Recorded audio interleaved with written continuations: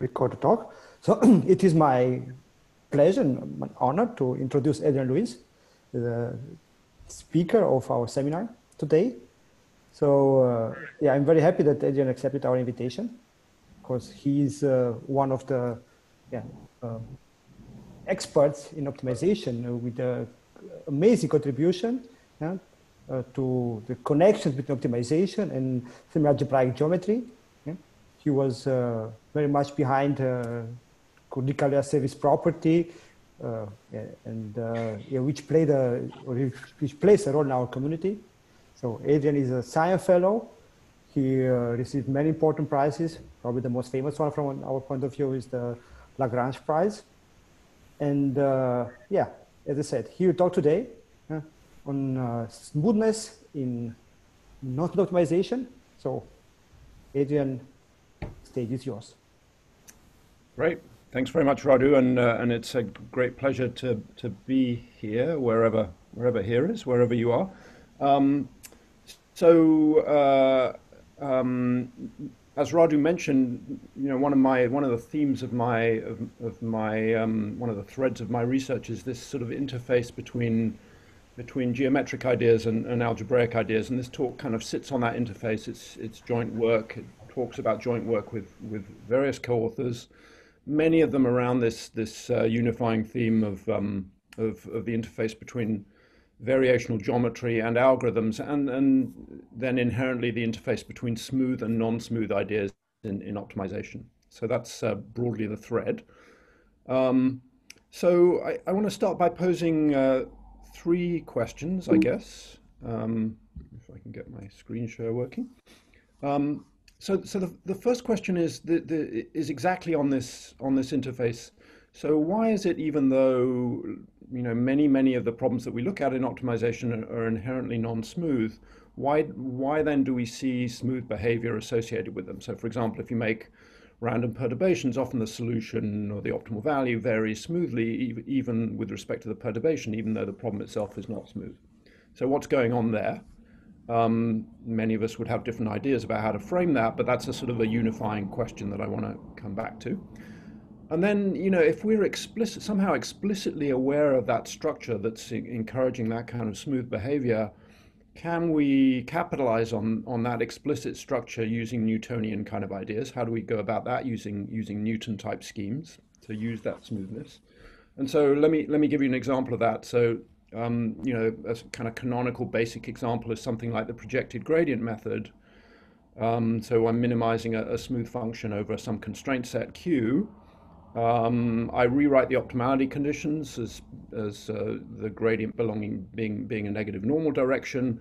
And then if we think about projected gradient methods as sort of very old scheme, those methods, even though you're applying it to a non-smooth set, like a like a, a, polytope, for example, very often a projected gradient scheme will identify some kind of smoothness in Q, some kind of smooth submanifold in, in, in Q, that where all, in some sense, the activity resides. So after a while, after finitely many iterations, you, you kind of hit that manifold. Um, so that's the sort of classical philosophy behind active set methods in, in optimization. And then it's very, very natural, and people have asked for, for, for decades how one then tries to accelerate the behavior of the algorithm using Newtonian kind of algorithms based on the idea that you're, you're now in a smooth situation.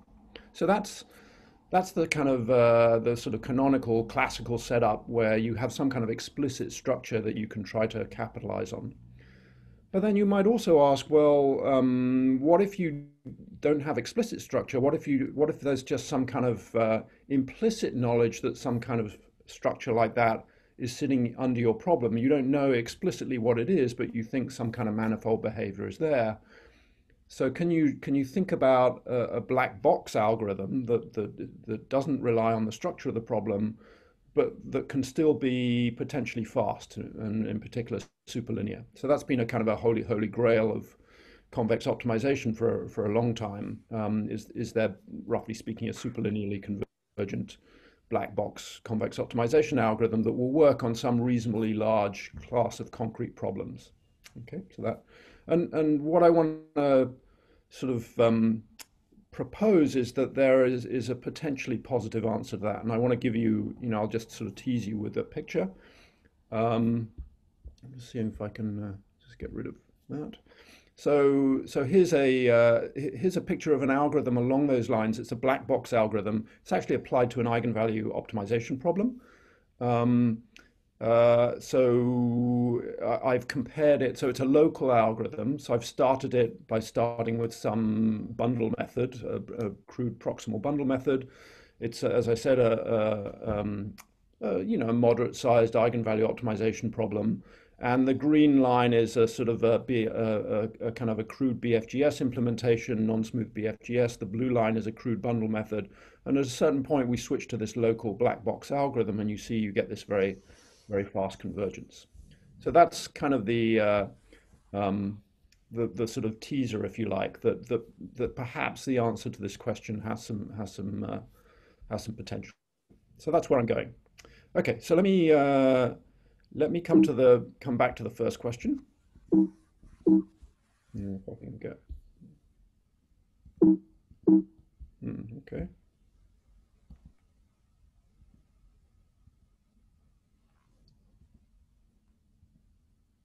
Okay, so um, for the first question, what I'd like to do is uh, is start with an example, and it's kind of a non-standard uh, example, um, just to give you something a little bit different to look at. Um, it does fall into this category of, again, the kinds of problems that I'm interested in, which very often have to do with, with eigenvalue optimization. But it's a rather it's a rather less standard example, and it involves the numerical radius of a matrix. So the numerical radius of a, of a square complex matrix um, is the maximum modulus of a point in the field of value. So that's a region in the complex plane described by the set of points you can get as, uh, as u star AU, where u is a complex unit vector. So you take your square matrix A, you look at all these complex numbers you can get, that gives you what's called the field of values. That's a compact convex set by the Toeplitz-Hausdorff theorem. And you look at its maximum modulus. That quantity, it's actually a matrix norm, although it's not multiplicative. So it's um, has some norm type, matrix norm type properties, but not all of them. Uh, it has the nice property of satisfying the, the so-called power inequality in linear algebra. So that dates back, you know, 50 odd years. Um, and it says that basically it, it, satisfies this kind of key inequality that the, the, the numerical radius of the power of a matrix is bounded by that power of the numerical radius. So that, by virtue of an elementary inequality that relates the two norm, which is the thing that you're usually interested in because it tells you how big vectors become under, under, under the transient dynamics of this dynamical system gives you some kind of control over, some kind of crude control over the dynamics of, of this system. So in, in, a, in a power type form. So that uh, is rather nice because unlike an eigenvalue bound, which gives you control over the asymptotic dynamics, tells you whether the system is asymptotically stable, these inequalities hold for all k with an explicit constant. So you get control over the, the, the, intermediate dynamics before you hit the transient dynamics that you may not even see. So it's a, it's a sort of a, a crude control on the growth of the system in, in the short term. Okay, so um, given that, one might make a case that it might be interesting to think about optimization problems involving the numerical radius. And, and if you try that out, you see a rather curious phenomenon that, that very often optimizing rho, not always, but often, in the sense of a reasonable proportion of the time, optimizing the numerical radius in some optimization problem results in some rather unusual matrices. So I want to give you an example of, of this. So, so the, I, have taken the canonical example of just computing the proximal point associated with um, the numerical radius. So I've just added a, a quadratic penalty and give sort of input a random matrix y and then computed its proximal point. And, and very often what we'll see, I'll give you some numerics, is that the matrix that then pops out has a field of values that's a disk. So it's a very special field of values. In general, the field of values is a compact convex set. In these cases, very often, we'll see, you know, about half the time, the answer is a disk, okay, a rather unusual kind of matrix. So here are, here are some, so, so notice actually this is something you can do in, in CVX. You can compute this proximal point. We did that on some, uh, on some examples and then just checked numerically to see whether the, the answer is a disk matrix or not. And we, we did that either by computing the sort of inner radius of the field of values, which is easy to compute in ChebFun, or some kind of algebraic way that we can check whether the matrix is a disk matrix, and then a couple of other me measures that are also correlated with this property. So just purely and simply the matrix being singular and the matrix having a, a, a two by two null Jordan block. So, and so what I did, so here's some numerical results. So, um, so what we did is we took one of these measures. I actually don't remember which one it was. We, we ran a thousand instances of proximal point calculations and just, you know, computed these measures and ordered the instances by, I think, probably the first measure, measuring how far you are away from a disk. And, uh, and what you see is a kind of phase transition. So, you know, about two thirds of the time, you get a very small measure, meaning that the matrix coming out has field of values very, very close to a disk. And that's true for all of these measures. So you get this phase transition. And this, um, so over various dimensions of the matrix, matrix A. So it's sort of rather compelling that some fraction of the time you're getting an exact disk matrix out from this calculation. And so the question is, why should that be given that those matrices are rather rare? So those matrices in the, in the, the disk matrices within the set of all matrices are a rather small manifold. They have codimension 2n in a in a set of uh, in a 2n squared dimensional set. Okay, so that that's the that's a, a, sort of a typical example of this kind of phenomenon. You do some optimization, you get a rather unusual solution. The canonical example is of course the simplex method, where you get extreme points. So you get something rather unusual from a from from an optimization problem. So what's going on? Okay, so um,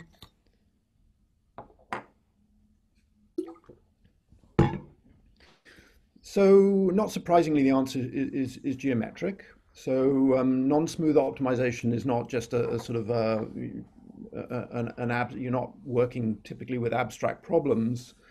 Um, these, these, the sets that we're optimizing over are, are often structured. Um, and so what happens then? So when you solve a random instance, often that instance ends up having a solution on a manifold of solutions that you then see under perturbations to the problem. So if you make random perturbations to the problem, the corresponding solution traces out some manifold of solutions.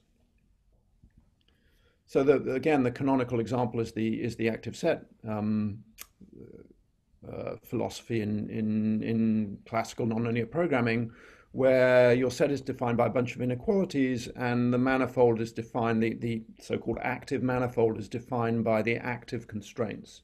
So you look at where the constraints are active, very often that the, the active index set stays stable uh, relative to the relative to the data. Same kind of thing happens in semi-definite programming. The rank of the optimal solution often is stable under small perturbations to the data. Um, and we've seen this in, in, in the lasso problem too, in, in, uh, in L1 regularized um, smooth problems where you're trying to induce sparsity.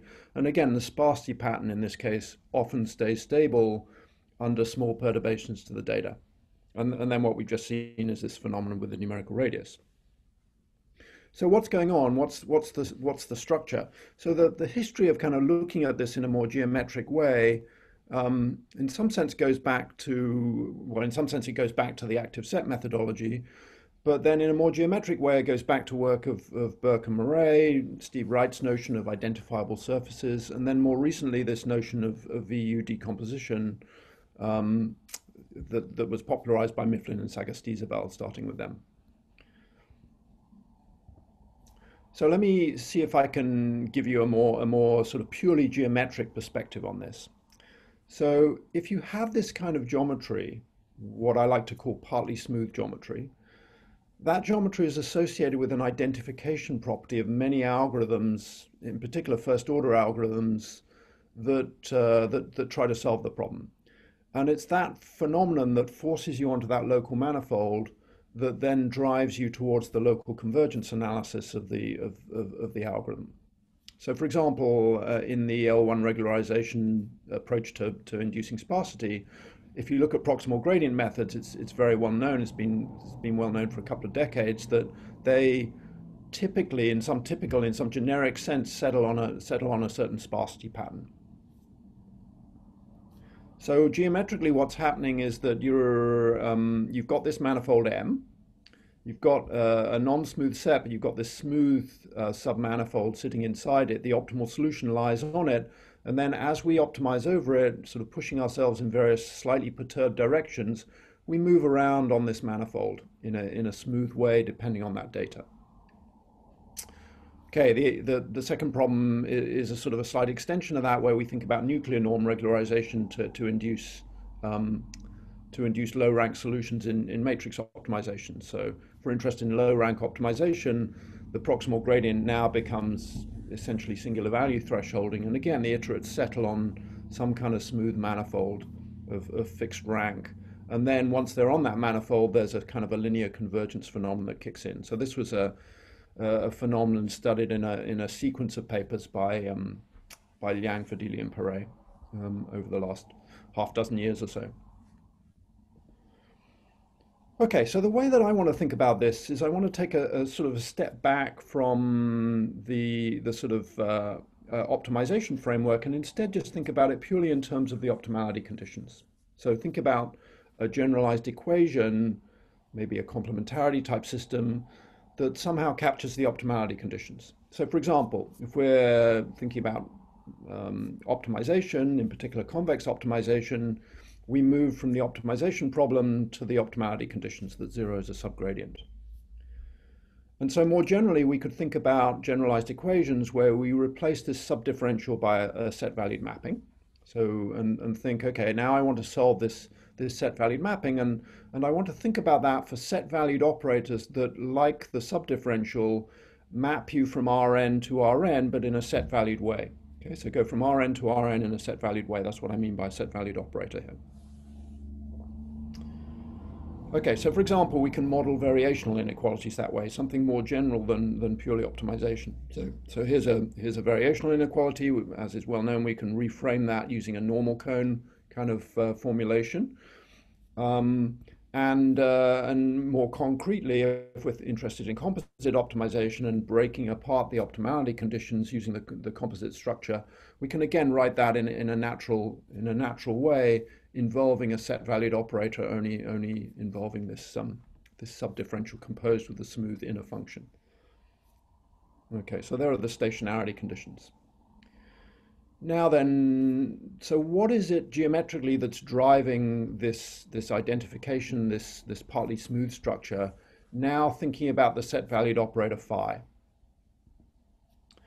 So this is the definition that, that I think um, underlies what's, what's um, you know, fundamentally at play. And this definition has sort of gone through some interesting iterations. It began life in a in a sort of an optimization framework where, and we'll come back to that framework in a moment, where it looks a little bit kind of dense and technical and involves a lot of things uh, interplaying with each other. But now, when you look at the definition that I'm going to give you, hopefully you'll agree. Actually, it's it's extremely simple. That fundamentally, what's going on is a constant rank property.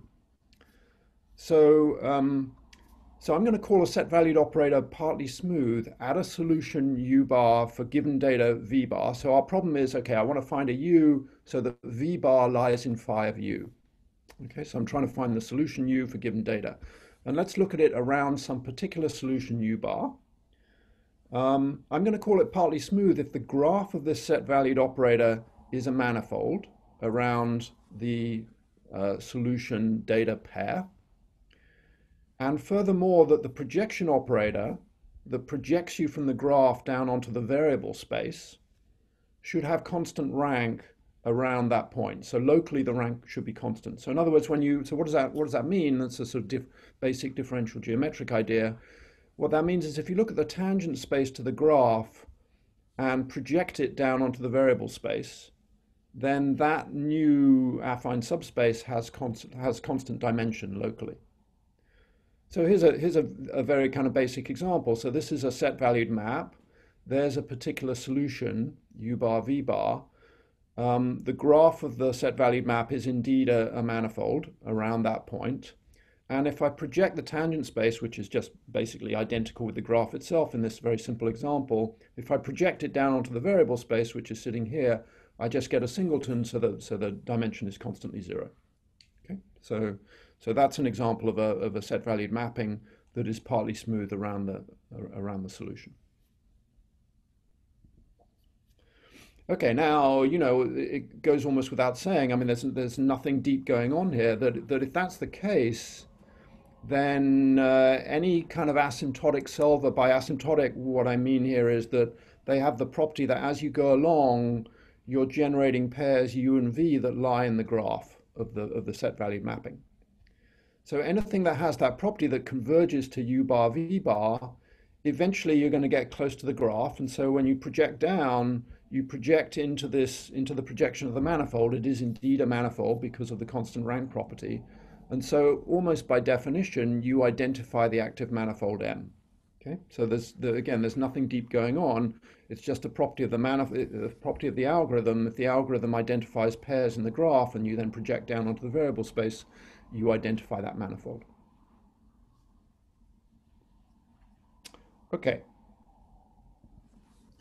All right, so, so let me give you a, a sort of a basic example. Um, so, so for example, if we think about closed convex sets, or, or more generally, if you're interested in the non-convex world, Prox regular sets, so for example, defined by C2 inequalities satisfying Mangasarian-Fromovitz, then uh, let's suppose that you've got an optimal solution for, for your optimization problem of minimizing uh, some linear function defined by the data vector y bar over the set S. So in other words, you have this, you have this, um, this optimality condition.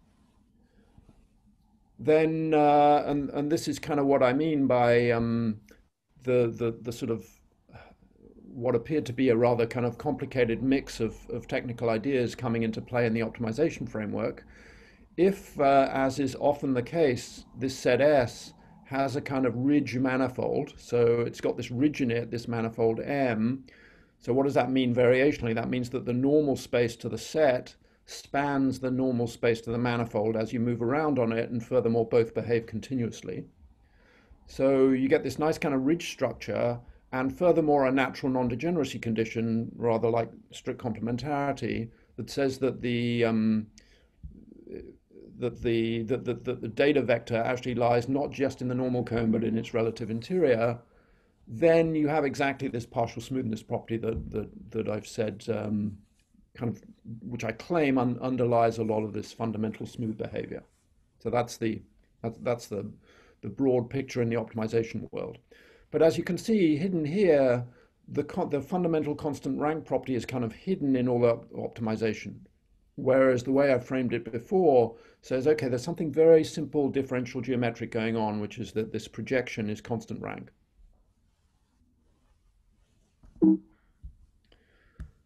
Okay. So, uh, so what does that mean? So in particular, what that means is if you do projected gradient, if you use the projected gradient method on this, then because the projected gradient algorithm, at least in the in the convex case, is known to converge and and gives you a sequence of pairs in this in this uh, in in this graph of the optimality conditions, the normal cone graph, then by definition you will identify this manifold M eventually. So after finitely many iterations, you're going to land on this manifold M. The, the point X will land on the manifold M. Okay. All right. Okay. Um, so let me do another example, which I'm going to come back to later, which is again a canonical, you know, the, the simplest example in some sense of, of non-smooth optimization, which is a max function. So now we have a max of, of k smooth functions, let's say C2 functions. Um, and uh, let's um, suppose, a, again, again, a kind of the, the strongest version of the optimality conditions we might hope for. So let's call uh, X bar a strictly active critical point when everything works in your favor, just to make life simple. So you have the natural Lagrange multipliers, so a weighting of these functions so that the Lagrangian is zero. Um, and that furthermore, that, uh, that, that basically you get um, uh, some kind of strong convexity condition on the Hessians. Um, and let's suppose furthermore that those Lagrange multipliers, as I say, are kind of a strict, strict complementarity condition that guarantees the non-degeneracy, which is that each of those Lagrange multipliers should be strictly positive. So we're making life as simple as we can for ourselves to illustrate the picture. Then under those situations, the mapping that takes you to the subdifferential, which is just the convex hull of the active gradients, is indeed partly smooth. So that set valued operator is, is partly smooth, relative to what we naturally think of as, as the active manifold, which is the, the set where all the active constraints, basically all the all the functions that you're taking the max of, all have equal value at the at the uh, current point. Okay, so relative to that active manifold, this this set valued mapping is is indeed partly smooth. Okay. Um, so so this is kind of nice, but it's not all that interesting unless we think it it's um, broadly applicable in the sense of holding often. And it turns out that in concrete settings, that is indeed the case. So, so in some generic sense, if I give you a, a kind of a concrete set, and I'll explain what I mean by concrete in, in a moment, and then optimize in some random direction, then almost surely we expect this kind of phenomenon to hold. So, so let me let me make that um, a little bit more precise. So Sard's theorem, which is in some sense the motivation for, um, you know, why do we believe that Newton's method is going to converge for, non, for, for, for smooth equations? Well, in some sense because of Sard's theorem. So Sard's theorem says, roughly speaking, that for smooth maps, almost no values of a smooth operator are critical values in the sense of the Jacobian not being surjective. So we can ex expect the kind of classical methods of, of numerical analysis to work usually. Um, and something similar happens here. So what about set valued operators and, and generalized equations um, on, on Rn? So something rather similar happens. So if we think about a, a, concrete world, and for the, for the sake of argument, I'm going to take the concrete world to be the semi-algebraic world where the, where the underlying set valued operator is uh, is a is a semi-algebraic set. So it's a finite union of finite intersections of um, polynomial level sets. And let's suppose furthermore that this semi-algebraic operator has an n-dimensional graph, rather like the graph of a smooth operator, or the graph of a, of a monotone operator, which has the same property. It's a, the graph of a monotone operator is a, is a Lipschitz manifold, n-dimensional manifold. So let's suppose it, it's rather small in this sense, it's n-dimensional. So subdifferentials, for example, have this property. So subdifferentials, monotone operators, they, they are they, they are n-dimensional in this two n-dimensional space. So if you have that property and, and they're semi-algebraic, then there's a very nice Sard type result that, that happens. And in fact, it's very structural. So around a generic data vector y, let's suppose you're trying to solve the generalized equation, 0 belongs to phi of y, the inverse operator, the solution mapping, just decomposes into k smooth maps there might be none because it might not be solvable.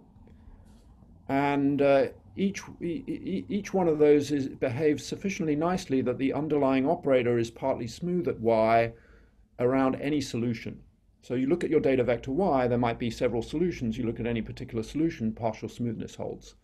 And furthermore, you have exactly the kind of nice transversality condition that you would want to apply a Newton type scheme to, to solve the equation. So generically, for a generic data vector y, all of those nice things hold. You get partial smoothness, you get transversal intersection of the graph with, with, the, with the variable, with the, with the x-axis basically. And so um, good stuff, you can expect good stuff to happen. All right, I just want to keep an eye on the time. Um, So that suggests that you might try a Newton type of scheme. So given this, let me just back up, given this transversality property here, you can hope that a Newton type scheme would, would work. And so how would that look? So again, this kind of Newton type scheme involves knowing lots about the structure of the underlying set valued operator phi. So what would we do? We, we could recast this problem as simply as a set intersection problem. So I'm trying to intersect the graph with the x-axis, helpfully called y here, sorry about that and, uh, and then apply a Newton type scheme. And it's a Newton type scheme in the following sense. So obviously this set is, is very, very simple. So it's, a, it's just a subspace. So what we're going to do in our Newton type philosophy is we're going to, in some sense, linearize the graph and then trying to get a, try to get a Newton iteration going. Okay, so we're going to assume a transversality condition between these two sets. So the way that I'm going to frame this algorithm now actually doesn't depend on the, on the set Y being as simple as this, but when we try to do it computationally, that's going to help us because we're only going to linearize one of the two sets. So we assume a transversality condition that says the two normal cones intersect trivially. Um, we then linearize the set X around the current iterate. So, and look at where that linearized version intersects the other set y, which in this case is this very simple set, so that's easy to compute, by um, the, the, the assumptions that we have, essentially the transversality assumption, that point is going to be very close to z in terms of its distance from z. So z is the point of intersection we're looking for. So this is of order, of quadratic order. So that's the first step. And then we somehow want to get ourselves back to a point on x, and so we can then cycle. And so we, we then look for a natural way of restoring ourselves um, onto, onto the manifold X, and we want to do that in a Lipschitz-like way that doesn't blow up the distance from the point we're starting with with respect to with respect to z by by more than a constant. Okay, combining these two, we'll get this sort of quadratic behavior that we want for Newton's method. So those are the two basic steps. So there's a linearization step, a Newton kind of step, and then there's a restoration step, a Lipschitz step. And so if we're actually doing this to solve an equation, um, what we do is uh, we'd linearize the set valued mapping. That's a kind of a derivative sort of operator. We'd solve that linearized version for the new point, and then we'd restore it somehow by projecting onto the active manifold. That's this step here. And then restoring ourselves so we get a we, we genuinely get a point in the graph. Remember the active manifold is in the variable space, and now we want to find a new a new, a new value so that we're sitting in the graph, and, and that we do just by projection. So that's the, the sort of abstract picture of how the, how the algorithm works. And so, um, so that's kind of nice, and it recaptures as, as I'm as I'm going as I'm going to say in a moment. It recap in various structural settings. If you kind of look and say, well, what does that mean in terms of various concrete settings? It's very much the um, SQP type of philosophy. So it's a sequential quadratic programming type of approach. So, um, so that kind of approach depends a lot on knowing a lot about the structure of the underlying set valued mapping phi. So in particular, if we're doing optimization, we need lots of structural knowledge about the subdifferential.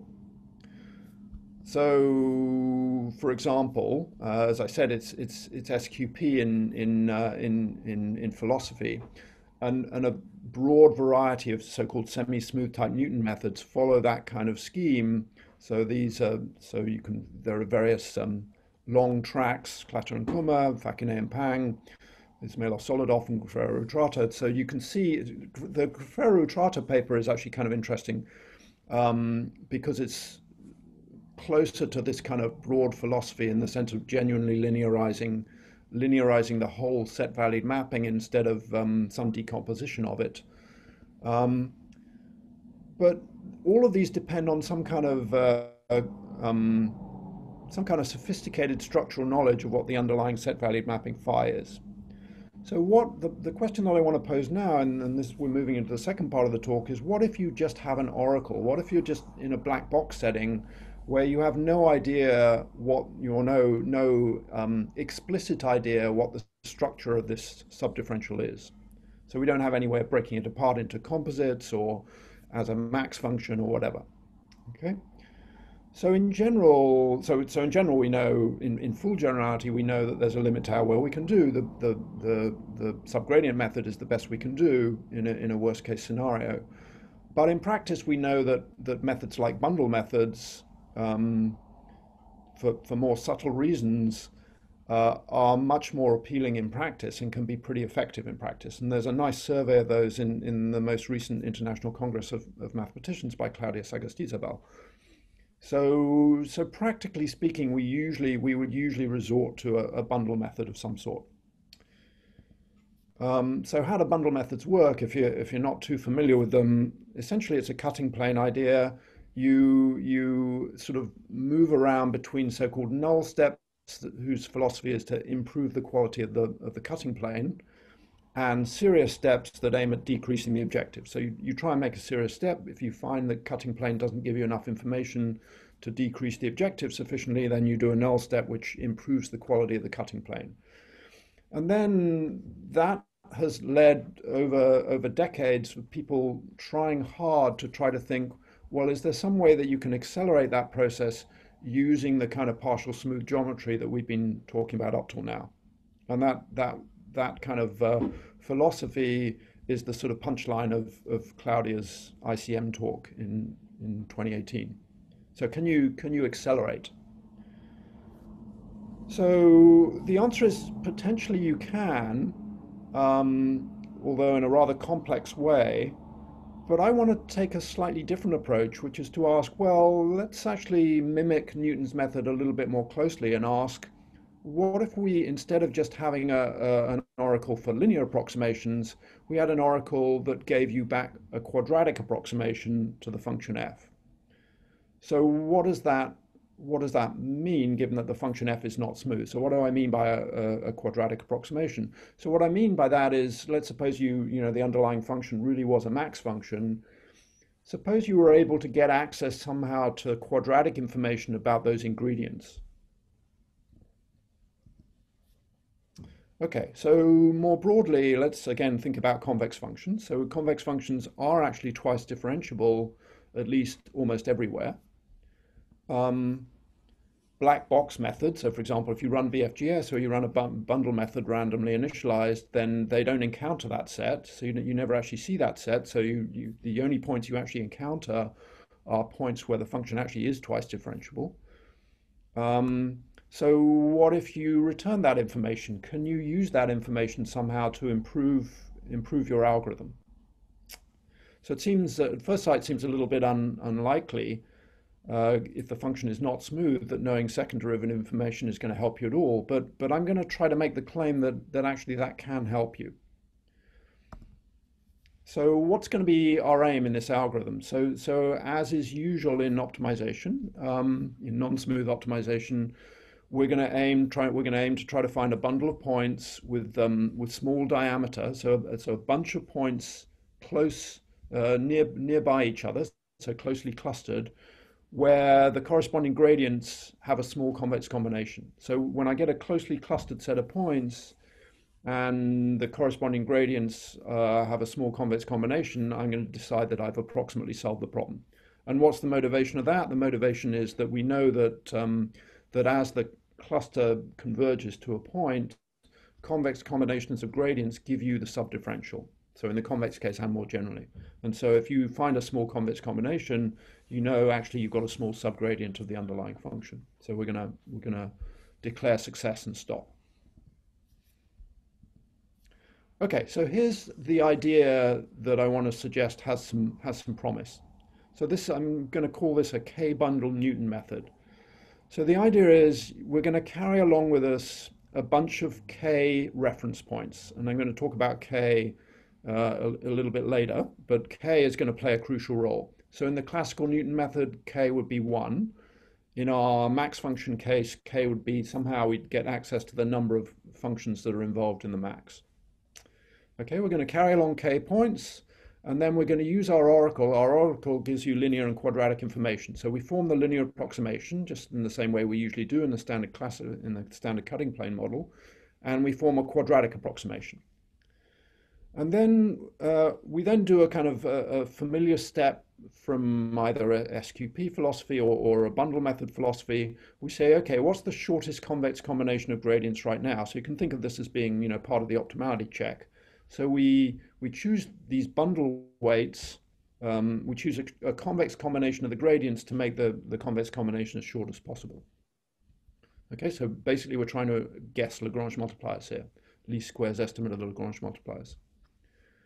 Um, okay, and then using that, we then again follow the SQP kind of philosophy of forming the Lagrangian um, and forming not its linear approximation, but the quadratic approximation. So we form the quadratic approximation to the Lagrangian and now minimize it. And here's the wrinkle. We minimize it over not unconstrained, but over the set where all the linear approximations are equal. Okay. So for each reference point, we want the corresponding linear approximation to be to be equal. And I'm sorry, that, that variable s should be x there. Okay, so we're we're optimizing over over x's where the linear approximations for these these various bundles are all equal. So you can think of this constraint as being a linear approximation to the active manifold. So you're basically linearizing the active manifold and then minimizing a quadratic model of the Lagrangian over that active manifold. So that's very SQP in philosophy. And then what do we want to do with that new point that we find? Well, remember, we're carrying along a bundle of k reference points. So what we're going to do is replace one of them. So which one should we replace? Well, we're going to replace the one with the closest gradient. And essentially the idea of that is that's a heuristic that tries to choose, if it was a max function, tries to update the max function for which you've got an improvement in the point. Okay, so you, you, you, you, you update the one with the closest gradient there are various possible heuristics you could try here. Um, okay, so so that's the idea. That's the algorithm. And again, it just depends on a on a quadratic oracle that that returns the the Hessian. Okay, so what, what's the motivation? Again, it's a it's an SQP type of motivation. So you have a current bundle of reference points. You build a max function type of model. So you you model your function by a maximum of a bunch of smooth functions, one associated with each reference point. So those smooth functions match the given function, the underlying function up to second order around the corresponding reference point. You then try to optimize that in the natural way using sequential quadratic programming. How would you do that? You'd reframe it in the obvious way and then do an SQP step. So you'd estimate the Lagrange multipliers via least squares and then minimize the quadratic approximation of the Lagrangian. So that, that would be the philosophy. And what about the constraints? Well, again, that's SQP based in philosophy. You're, you're trying to, you're trying to um, optimize subject to the linearized constraints, which you assume to be all active. Now, one thing I want to emphasize about this algorithm, this is purely a local kind of an algorithm. So if we're a long way from the optimal solution, we have no reason to suppose that, that uh, that, that we have this activity assumption here that this is a good approximation of the, of the active constraints. But if we're close to the optimal solution, we have reasonable grounds to believe that this is going to be true. Okay. Okay, and then we and then we use that new point that we find to improve the most closely matching component. So that's the that's the update. All right, so let's um, let's see what what we know about that. So so here's actually a theorem so if the underlying function actually is a max function, so remember we don't have access to these ingredient functions. We just have this black box that gives us the largest of them and its gradient and its um, Hessian. You give me x, it spits out the largest function value, the gradient of that function and its Hessian, but we don't see the functions themselves. Um, if each of those is strongly convex, so in the best of all possible worlds, each component strongly convex, you have a strongly active critical point, and uh, if you initiate it nearby with a full bundle, so you pick up each of these functions, so you have a bundle that somehow picks up each of the active functions, then this method actually converges k-step quadratically. Okay, so you really do get k-step local quadratic convergence. So, um, so what does this have to do with partial smoothness? So this this this bundle size, the magic number k that you have to choose in the algorithm, uh, and the and the underlying geometry are related by this simple condition that the that those two numbers together add up to n plus one. So if you have some kind of geometric intuition about what this active manifold is, that corresponds to an intuition about the dimension k essentially. Okay. Um, Radu, how long do I have? Hmm. Let's say uh, 10 more minutes. 10 more minutes? Perfect. Yeah, that's great. Okay, so let me uh, let me very quickly sketch the, the, the kind of proof idea, and then I'm going to give you some uh, some illustrations. Um, so as I said, the classical Newton method has k equals one. Um, actually, let me start with one simple illustration, then I'll, then I'll come back to the proof. Um, so here's a, you know, again, a, an extremely simple example. So we have a max of two functions, and I run this uh, run this algorithm. So what I'm going to do is I'm going to plot. Um, so I'll I'll plot a crude bundle method, a proximal bundle method. I'll use that bundle method to initiate at a certain point. I'll use it to initiate the Newton scheme, and which again is a black box Oracle. Remember, it can't see this underlying function. It just it's just given in terms of function values and, and Hessians and gradients. And I'll compare that with BFGS, with non-smooth BFGS.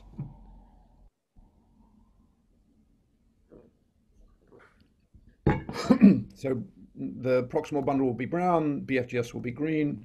this um, two bundle Newton method will be blue, and I'll also keep track of the optimality measures. Um, so those are the optimality measures and, and, the bundle diameter. So the objective function is going to be these crosses, optimality measures are going to be triangles, and bundle diameter are diamonds. So here's the picture, and um, you can see the, the kind of crude bundle method goes along steadily. BFGS does a little bit better. If we use the crude bundle method to initiate the, the Newton method, then after a couple of dozen iterations, you get this extremely rapid quadratic convergence, which is what you're hoping to see. So, so we get exactly the fast convergence that we're hoping for. Is essentially to machine precision. All right, now, of course, this wouldn't be very interesting if, if, it was only applicable to max functions, because if, if it was only applicable to max functions, if you really do have a max function, probably you know it's a max function and you can access the ingredients. So what happens on a, on a non-max function? So here's a, a simple eigenvalue optimization problem. Um, so we, we got a, a function of, of, four variables. It's designed to have optimal solution zero. Um, and uh, again, I'm going to do the same thing, run, run BFGS, run uh, a, simple bundle code, use the simple bundle code to initiate the Newton step. And again, this is not a max function, so the theorem doesn't apply, but we like we, we hope to see fast convergence anyway. So that's not a max function around its minimizer. You can check that relatively easily.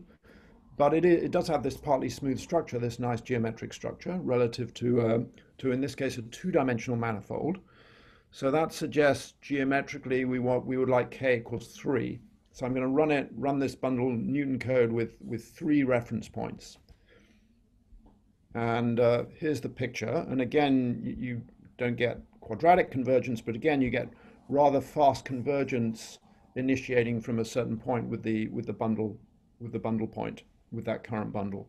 And so this case in about in about three dozen. So these iterations, by the way, by iterations, I should emphasize those are calls to the oracle. So those are black box function calls.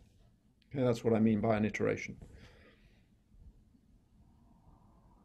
Okay, so again, pretty good convergence on something that's not of the type that the algorithm was originally philosophically designed to deal with. All right, so, so how does the, the proof work? So, so again, the proof is for max functions. Why does it work? Well, when you're near the active manifold, these full bundles approximate the subdifferential in the sense that the convex hull of their gradients gives you an approximation of the subdifferential. That's relatively easy to see. Now, what about the Hessians, which we wouldn't have thought would give us much information? Well, it's true that they don't give you very good information in lots of directions. So in particular for that maximum eigenvalue func function, these Hessians actually blow up, so they don't behave well but along the manifold M, they do correctly predict the curvature along the manifold M. So it's that behavior along the tangent space that is what gives you good Newtonian kind of information and drives the fast convergence. So that partly smooth geometry then ensures this kind of quadratic behavior in the max function case. And, uh, and then updating keeps the bundle full. So this heuristic for updating keeps the bundle full because of the strict activity. Um, all, the, all the gradients basically have to be active, so you have to pick them all up. And then finally, and this is the subtle point of the proof, the strong convexity argument guarantees that within k steps you've updated each reference point. So every k steps that you do must update each reference point by the strong convexity assumption, assuming that you're within, um, that you're sufficiently close to the optimal solution. So again, uh, under reasonable local conditions. Okay, so how do you kick this off? So kicking it off is, is a challenge, of course, like just as kicking off Newton's method is a challenge, in fact. Um, as I did in this in these experiments, um, we used a bundle method to, to start it. You can also use BFGS to initiate it. Um, if you want to start at some point nearby, you can use gradient sampling. You need some way of producing a big enough bundle. So in the max function case, you need to somehow generate a full bundle of points near the given point. And the, the, you know, the, the most natural way to do it is through a bundle type of philosophy. So they asymptotically generate these, these subdifferential approximations. Um, and then, so what about this magic number k, which is so crucial to estimate? We could then use those subdifferential approximations, estimate the dimension of the convex hull of the gradients numerically. So that's a sort of a numerical estimate of the affine, the dimension of the affine span of these gradients, and use that as your as your estimate for the for the k that you should choose. So if you did this for a smooth function, for example, um, you'd end up with k equals one okay, because all the all the gradients would be rather close to each other, and so you'd end up with a with a um, with a with an estimate of k equals one. For a max of two functions, you get two different kinds of gradients, and you'd estimate k equals two. So that would be the idea. And then you'd somehow select, you'd do the selection problem to select a uh, uh, a maximally affine, affine independent set from the set of gradients that you have uh, of size k. So that would be the, the numerical approach.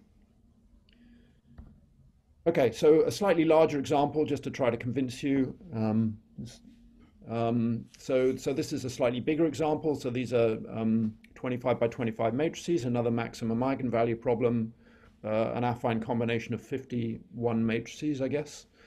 Um, in the random example we chose, the, the active manifold actually has multiplicity 6. Um, and so you can compute uh, analytically the dimension of that, of that tangent space, which is 30. So that actually tells you in principle what the what the dimension should be. Um, and, and this was the picture that I showed you at the beginning, and you can kind of see that, that the initiating from uh, after, in this case, 500 iterations of a crude bundle method, um, initiating the Newton scheme gives you this very rapid convergence starting from that point.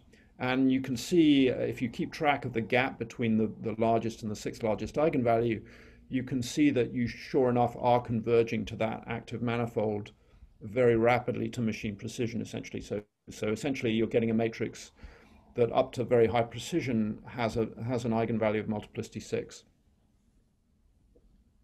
Okay, uh, I'm just going to summarize.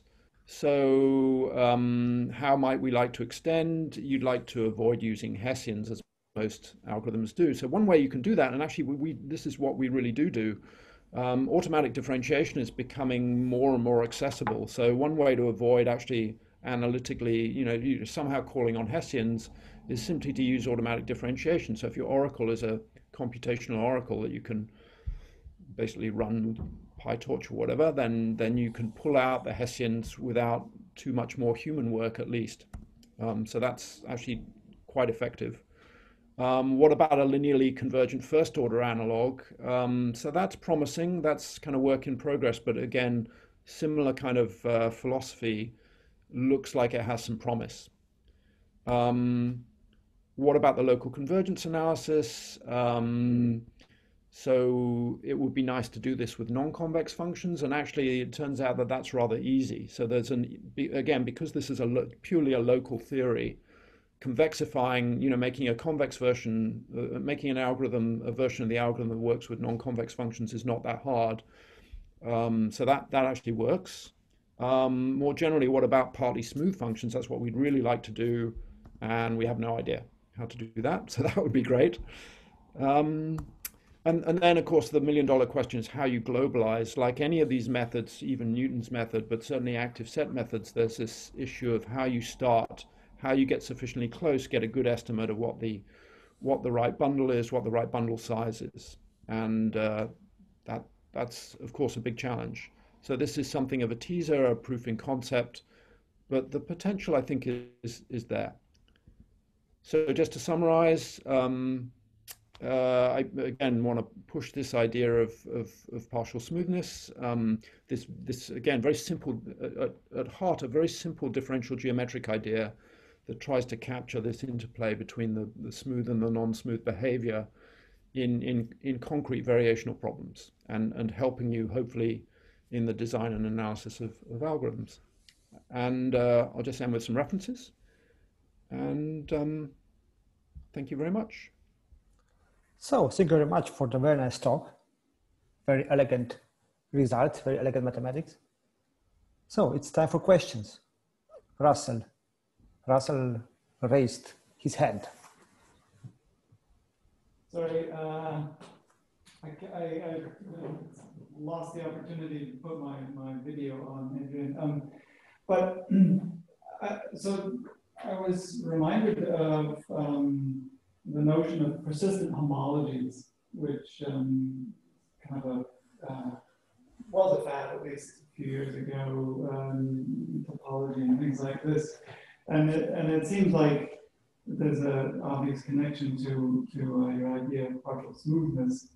Um, and can you say a few words though about why you would expect some sort of regularity in in the transition because you're you're kind of counting on identifying a, a smooth manifold where the, where the solution lies but um, but it's uh, there, there, are lots of problems where you'll, you'll have lots and lots of different types of persistent homologies globally um, and it's sort of the nature of, of uh, discrete optimization is kind of identifying the correct one, and that's sort of what search algorithms right. and at least heuristically try to do.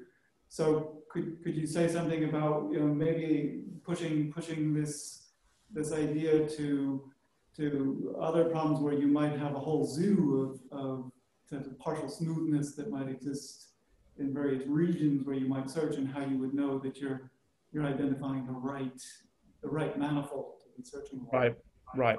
Yeah, no, I mean it, it's an excellent question, and and the closest analog, I I think to that, I mean you know the, the simplest analog is is again the classical active set approach to to nonlinear programming, where when you're a long way from the optimal solution, you know you you can you can try to identify the current active set, make some improvement on it, but then and then you need some kind of recourse for changing that active set for, cha- for changing the topology, if you like.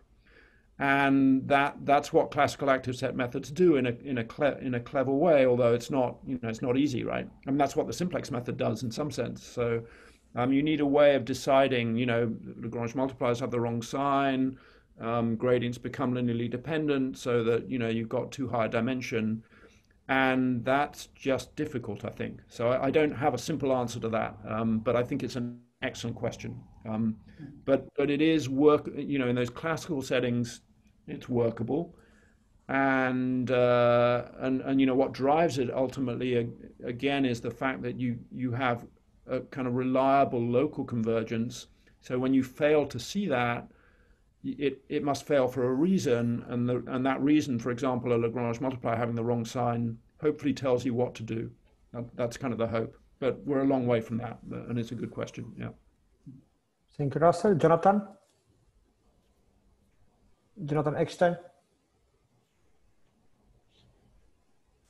Okay. Yeah, just very simple. Like, like when you chose that crossover at 500, was there any like, like indicator, you know, even um, heuristically that said, okay, that's when we should cross over? yeah, yeah. The, the heuristic indication was was that it worked. yeah, no, we have no we have no magic. Um, I mean, you know, we're we're experimenting with them, and there are heuristics, but there's nothing very satisfactory uh, yet. Um, again, we're a long way from that, and uh, so again, this is purely proof of concept. But the idea of you know when do you make that switch? Um, we, we don't have anything even which is even like the analog of, of uh, globalizing Newton's method that sort of says that you can do this in a, you know, you, you, you can read when the thing is doing what it's supposed to be doing, right? Um, so that it's a really good question. Yeah. Thank you. Tim Hoheisel. Tim? Uh, I was just wondering, uh, since you mentioned uh, the, the notion or the, the paper by Gfrerer and Outrata, if there is a connection between partial smoothness of F and the semi-smooth star property of the subdifferential operator.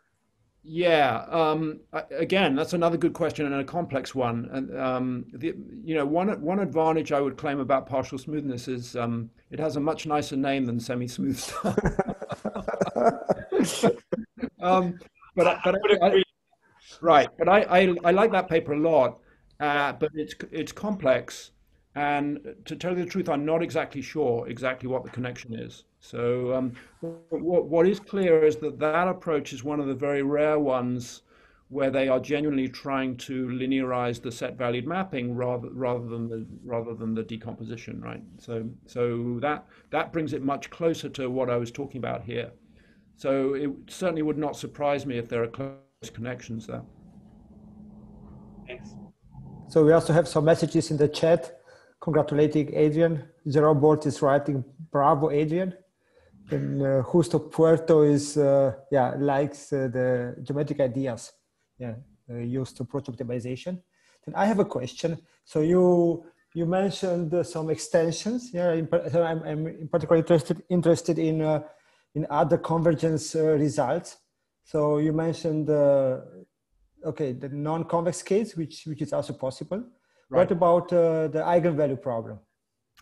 Yeah, um, we we don't know how to do that. Um, so so the proof the the the proof for the max function case is really delicate. I mean, it's just I mean you know maybe there's an easy proof. I, I don't know, but but it's like it's it's like it was it was hard, and it's quite subtle. And in particular that the fact that you get this k-step convergence really really relies extremely heavily on the underlying structure.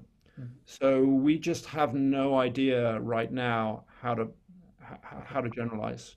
Um, it may be that there's just a better proof technique out there that we we just we don't see. Um, but the proof technique that we came up with is is is just you know it's kind of difficult.